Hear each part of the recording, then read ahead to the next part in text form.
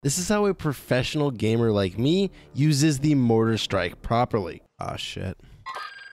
Enemy You think he sees me? Moving. You think? No. Moving here. Just wait for him. He's coming for the base station. Requesting ordinance. Oh, no! See, wait. You are a pro gamer, dude. Good thing you bought the tryhard skin, dude.